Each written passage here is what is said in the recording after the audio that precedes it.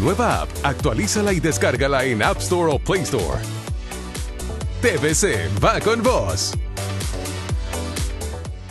De todos modos, ella tiene que enrolarse para la nueva identidad. Hay dos cosas importantes Sí. que aclararle a la ciudadanía, Renato.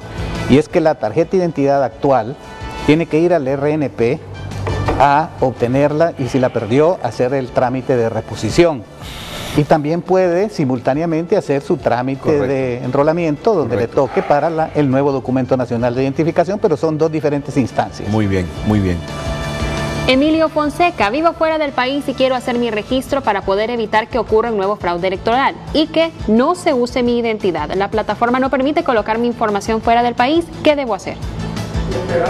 estar en, en, en el mundo el otro año. Desde enero estamos planificando que todos los consulados a nivel nacional se conviertan en oficinas del RNP para tener la posibilidad de que él pueda hacer el trámite, no solo de preregistrarse, sino de tener un nuevo documento de identidad.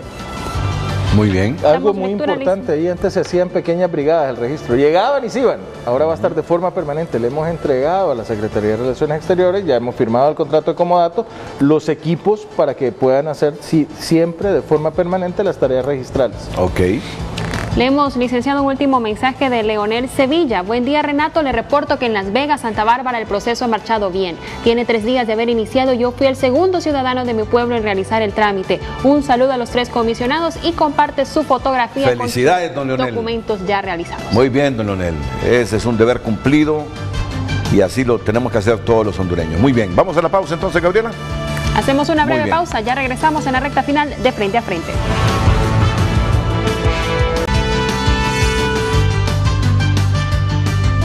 Miren qué buena la información que me dan los comisionados del RNP cuando ya se haya enrolado a todos los hondureños estos kits, estas maquinitas, estas computadoras como las que vieron donde yo me enrolé y todos mis compañeros se han enrolado, van a ser donadas a hospitales y a escuelas para sus propios registros y son 1500. 1500 y con mantenimiento esas maquinitas le duran un montón de tiempo ¿eh? para que se actualicen, se moderna- eh, modernicen, se digitalicen, escuelas, colegios, hospitales.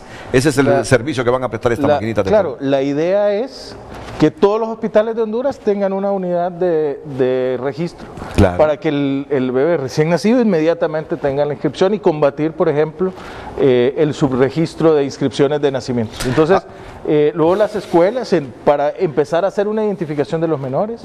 eh, Ah, ese es el propósito para en los hospitales. en, esta en máquina, las ¿no? escuelas, Sí. el carnet de identificación de menores que está en la ley, que Muy es bien. un cumplimiento histórico del Registro Nacional Ok. de la Persona. Eh, alguien, el abogado Jonathan Varela decía que si tendrían ustedes así subregistros en las colonias para hacer todo este procedimiento. Sí, va- vamos a todas las colonias de Tegucigalpa, al- a, los centros eh, educativos, vamos a estar eh, haciendo levantamiento de datos en cada una de las comunidades.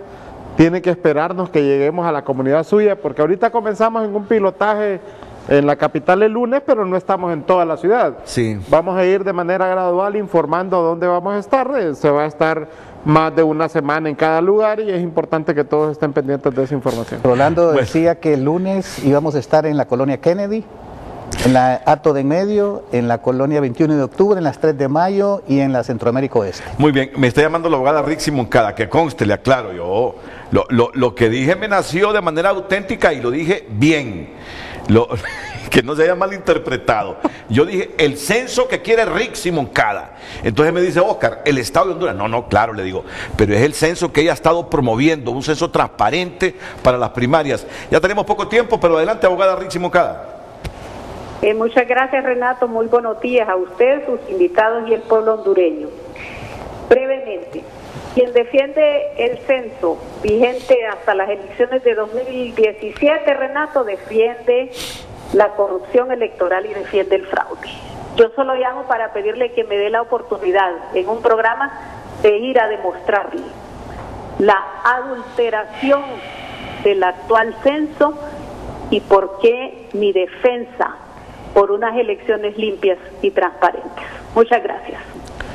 Gracias a usted, abogada. Adulteración, dijo, del actual censo. Es que solo quiero eh, acompañar las palabras de la abogada. el- la base de datos actual, Renato, es un desastre. Nosotros hemos podido No, eso verificar sí. que la información está fuleada de datos irregulares, de todo tipo, difuntos, traslados, inconsistencias. Es un problema generalizado de Sí. país. Realmente el proceso electoral primario de 2021 no debería de valorar ni en ninguna posibilidad ir con el censo actual. Realmente nosotros estamos haciendo una labor como registro que le vamos a permitir y darle al pueblo hondureño una base de datos Sí. depurada, que nos Oye. permita ir a un proceso electoral transparente para que el pueblo hondureño No, tenga en, la en tranquilidad. eso del estamos conscientes y estamos con la abogada, que, que- que- que el censo con que hemos ido a elecciones ha sido pisoteado y manipulado por los partidos que han tenido oportunidad. Eso no hay hondureño que, que lo rechace. Es decir, así ha sido. Es lo que queremos, corregir este censo. No, estamos con usted y el día que quiera el programa se va a hacer, no hay duda. Bueno, y entonces la certeza que tenemos que el censo para las primarias sea lo más transparente posible, ya brevecito porque se nos está terminando el tiempo. Bueno, nosotros estamos trabajando, eh, hemos presentado un calendario de, de trabajo, hemos hecho todo el, el esfuerzo para poner, digamos, todos los insumos necesarios. Eh, hay algunos temas con respecto al, al calendario que son concernientes al Consejo Nacional Electoral y a la ley que se está discutiendo. Todos sabemos que en el Congreso está la discusión de, la nueva ley de elecciones del Consejo Nacional Electoral.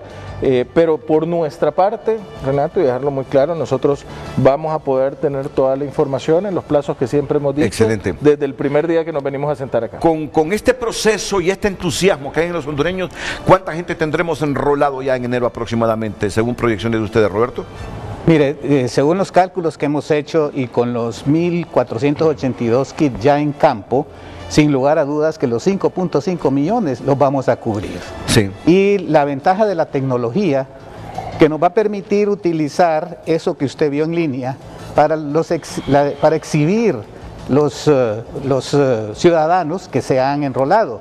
Anteriormente se tenían que hacer publicaciones en los registros civiles municipales para que usted revisara si se va, si está inscrito. Ahora no, ahora va a hacerlo en línea y esas facultades van a ser que tenemos que hacer las, las leyes para que se apliquen estas nuevas Correcto. tecnologías. Con ese entusiasmo y esa proyección, ¿tú crees que ya para las primarias, Oscar, eh, te- tengamos esa depuración plena del censo electoral? Toda la labor que estamos haciendo es para tener una nueva identidad y una nueva base de datos. Pero también es necesario, Renato, que así como nosotros podemos decir el deber cumplido a la patria de haber hecho este levantamiento de datos, que todavía lo estamos haciendo Claro. y que lo vamos a hacer en tiempo y forma, también eh, debemos de convertir esta base de datos que estamos eh, trabajando en el nuevo censo y esa es una labor del Congreso Nacional. Yo sé que en el Congreso Nacional hay diálogo, pero es necesario construir una ruta que nos permita la confianza para el proceso electoral.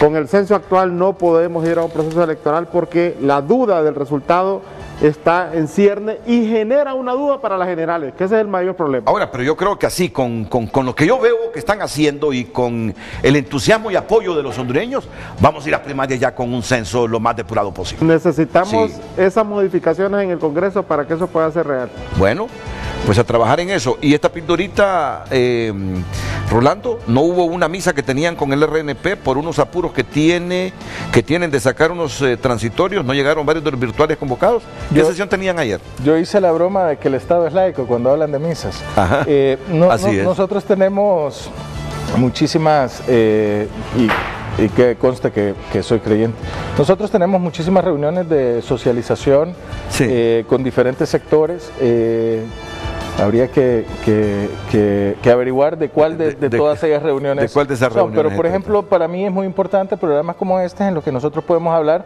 a detalle tanto el cronograma, las estadísticas, cómo vamos, en qué consiste y, y que todos los actores eh, que, que nos están viendo puedan establecer los juicios. Siempre hemos dicho estamos totalmente abiertos para cualquier pregunta. Eh, nos las pueden hacer directamente a las redes del Registro Nacional de las Personas o a nuestras cuentas personales también. Muy bien, vamos a la última pausa. Bueno, y para finalizar, Roberto Rivera, desde el Progreso me dice en qué lugar de la web podemos ver el censo, ver que todos hemos sido enrolados o solo ellos lo pueden ver, ¿no? Usted puede estar viendo, Sí. lo que puede estar viendo es el momento que cada uno de nosotros nos enrolamos. claro. Pero En también la lista de todos Correcto. los enrolados de su municipio. Sí, Así claro. es. Él puede entrar a ver la Y, eh, correcto, y, y la lista de los enrolados en su municipio también pueden entrar a esta página www.rnp.hn en estadísticas, identifícate, pueden ver el detalle, hay gráficas, hay datos, hay nombres de cada ciudadano. Sí. Ojo, le pedimos autorización al Instituto de Acceso a la Información Pública para que nos permitiera hacer esto, porque son datos Claro, son públicos personales. para- y personales y públicos. Bueno, muchas gracias Rolando, muchas gracias Roberto, muchas gracias Oscar, muchas gracias. Ha sido un Un- gusto. Sí, y un agradecimiento al ministro de Educación, Ah, Arnaldo sí, Hueso. sí. eh, Arnaldo que- Hueso, el ministro de Educación, eh, me ha puesto un mensaje donde me dice, eh, bienvenido a ese apoyo del RNP. En los centros educativos será de mucho beneficio. Pero el agradecimiento va porque estamos en las escuelas, en todo el territorio nacional, nos las han prestado sin ninguna condición al proyecto y es muy bonito ver esto en donde hay una verdadera unidad nacional y un gran apoyo de, de todas las Muy instituciones. bien, de nuevo gracias y a todos ustedes que han participado en el programa, al público dentro y fuera de la República. Las mañanas del 5 a continuación aquí en la pantalla líder de Honduras.